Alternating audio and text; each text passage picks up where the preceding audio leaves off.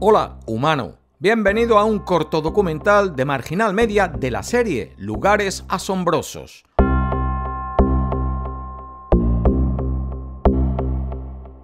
Hoy respondemos a la petición de algún hermano ecuatoriano que nos ha pedido un vídeo sobre el expenal Gabriel García Moreno, en Quito, Ecuador.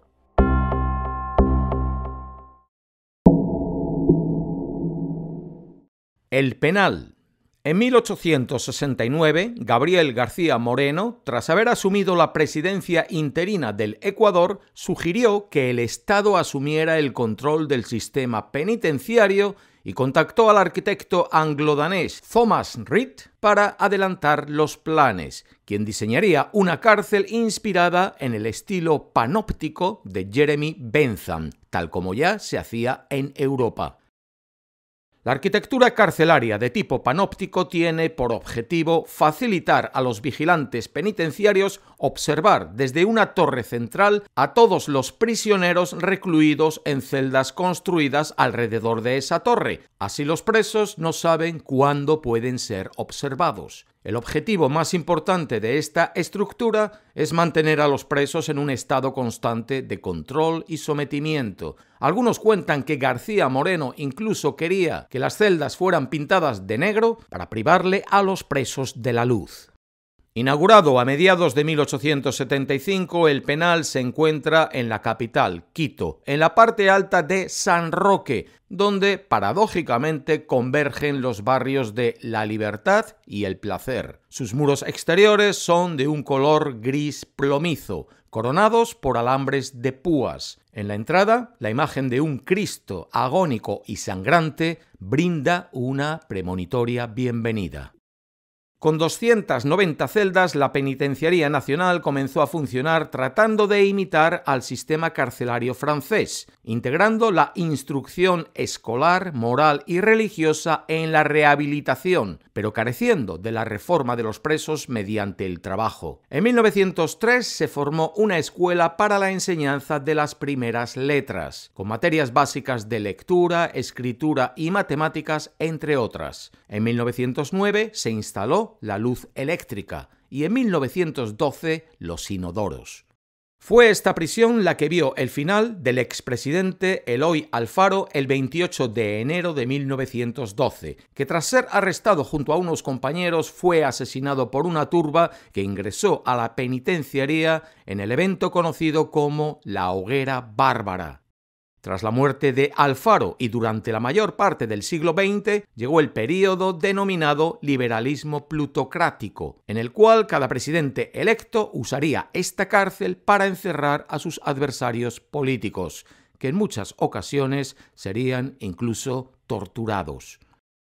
Desde 1914, el gobierno redujo el presupuesto para la penitenciaría tras la crisis económica causada por la Primera Guerra Mundial, lo que también se podía ver en la sobrepoblación existente. El penal estaba concebido para menos de 300 reclusos, pero llegó a albergar hasta 1.600 en su peor momento penal. Sus celdas, de 7.6 metros cuadrados, pensadas para un máximo de dos personas, llegaron a albergar en ocasiones hasta a 18 reclusos. Sus internos, el penal está dividido en cinco pabellones que fueron utilizados para diferentes tipos de criminales. El pabellón A, considerado de máxima seguridad, albergaba a políticos, líderes del narcotráfico y banqueros. Esta sección de privilegiados tenía 28 celdas, además de biblioteca, gimnasio y otros beneficios. Uno de sus reclusos más famosos fue Oscar Karanki, un famoso narcotraficante se creó una lujosa celda para él que contaba con luz brillante, una cama de una plaza y media, televisión de plasma, un microondas, una nevera y muebles de madera con espejos, vasos, copas y licores importados. En alguna ocasión, Karanki organizó una fiesta en honor al Niño Jesús y para el festejo contrató a artistas ecuatorianos célebres y según cuentan los testigos, no faltó el alcohol, las drogas y hasta prostitutas. El pabellón C, el menos violento y mejor organizado, tenía como huéspedes a extranjeros, mulas del narcotráfico y culpables de delitos menores. Aquí los pillos y arranchadores encontraron su espacio, mezclados con pequeños expendedores de droga y adictos a quienes el vicio los tenía cumpliendo las tareas más deplorables posibles con tal de conseguir su dosis diaria. Tiene 57 celdas en las que vivían hasta tres personas por celda. En el pabellón D, conocido como heterogéneo, se encontraban desde reos con estudios superiores hasta otros sin siquiera completar la educación primaria, la planta baja tenía dos mesas de billar, que los familiares de un preso le facilitaron para que las pudiera alquilar y así obtener algo de dinero, porque la integridad física también tenía un precio. Es por eso que proliferaron pequeños negocios dentro de esta sociedad penitenciaria como peluquerías, tiendas o pequeños restaurantes. Tiene 66 celdas que eran usadas por hasta cuatro personas. El pabellón E, denominado aislado, tenía internos adictos a las drogas y las personas más pobres y trastornadas. A la E llegaban todos. Aquí las celdas de 2 por 3 metros eran compartidas por hasta 20 personas que improvisaban camas unas sobre otras, una cocina sobre la letrina y un tenderero al pie de la ventana. Su celda más famosa es la número 13, la única vacía del pabellón, donde asesinaron al general Eloy Alfaro. El general fue golpeado en la cabeza y rematado con una escopeta, luego lanzado al piso inferior y desde allí una turba enardecida lo descuartizó y lo arrastró hasta la plaza de El Ejido, donde finalmente lo quemaron. Su recuerdo era tal que pese a que fue asesinado en 1912, hasta el 2014 era nombrado en la asistencia que tomaban los guardias. Muchos, como burla o respeto, respondían presente. Este pabellón tiene 34 celdas. ¿Y el pabellón B? Pues lo reservamos para el final por ser considerado el más peligroso. Albergue de violadores, asesinos, internos violentos y culpables de otros delitos graves. Sus 114 celdas estaban sobrepobladas, con un promedio de 15 prisioneros por cuarto. Entre los reos más conocidos que pasaron por aquí se encuentran el colombiano Daniel Camargo Barbosa, también llamado la bestia de los manglares, condenado a 16 años después de admitir la culpabilidad de 71 asesinatos y violaciones. Lo mató en 1994 Giovanni Noguera Jaramillo, otro recluso sobrino de una de sus víctimas. Pedro Alonso López, el monstruo de los Andes, acusado de asesinar a 100 mujeres en Perú, 100 en Colombia y más de 110 en Ecuador, considerado el mayor asesino en serie de la historia. Quedó en libertad en 1994 y actualmente se desconoce su paradero. Juan Fernando Hermosa, el niño del terror, adolescente pandillero de 15 años responsable de asesinar a sangre fría a 22 personas. El día que se llevó a cabo el operativo para su captura, su madre adoptiva, Zoila Suárez Mejía, una mujer que sufría de artritis y sordera, fue asesinada por 20 disparos de la policía tras una confusión.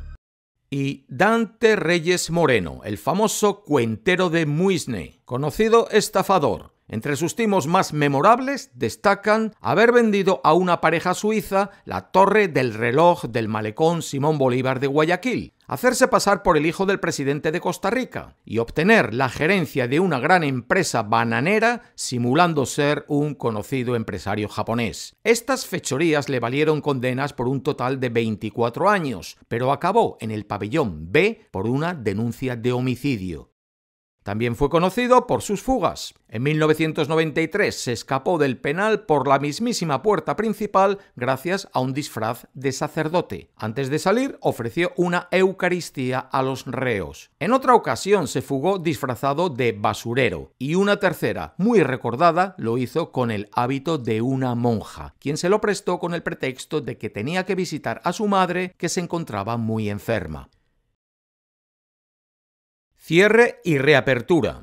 En 2014, durante el gobierno de Rafael Correa, este centro carcelario quedó vacío repentinamente. El motivo no fue la fuga masiva de sus residentes, sino el traslado controlado de los mismos a otra cárcel en la ciudad de Latacunga, provincia de Cotopaxi, para que los antiguos presos, hoy personas privadas de la libertad, tengan mejores condiciones para sobrellevar la condena física. Tras 139 años de uso, el 30 de abril de 2014 el centro dejó de funcionar, quedando en malas condiciones. El 19 de diciembre de ese año se reabrió como museo, exhibiendo una galería fotográfica. Una peculiaridad hace de la expenitenciaría un lugar único en el universo carcelario. Las celdas permanecen intactas, exactamente de la misma manera que las dejaron los reclusos tras el masivo traslado a la nueva cárcel de la Tacunga. Hoy, las puertas de la antigua cárcel siguen abiertas para que la ciudadanía pueda conocer la manera en la que transcurrían las vidas de sus habitantes y para que, como sugieren los guías, reflexione sobre la importancia del concepto de la libertad. Ropa interior, cartas, libros, donde la Biblia era sin duda el mayor bestseller. Restos de comida y bebida o productos de higiene aparecen abandonados en las celdas, provocando una sensación de naufragio nuclear, de transitar por un barco fantasma. La empresa Quito Postmortem ofrece un tour llamado Entre Rejas, enfocado en las historias de crueldad que escapaban de sus muros, apoyados por ex internos que ahora gozan del beneficio de libertad condicional y que, con sus relatos, acompañan los recorridos nocturnos que se desarrollan con más de 40 turistas dispuestos a afrontar la experiencia. Algunos afirman que durante el recorrido han visto sombras y escuchado sonidos dentro de las celdas vacías. El lado más oscuro. Desde su cierre en abril de 2014, los guardias del penal han declarado más de una vez que en el establecimiento, que está en completo estado de decadencia, se escuchan alaridos y golpes e incluso se ha registrado la presencia de visitantes misteriosos.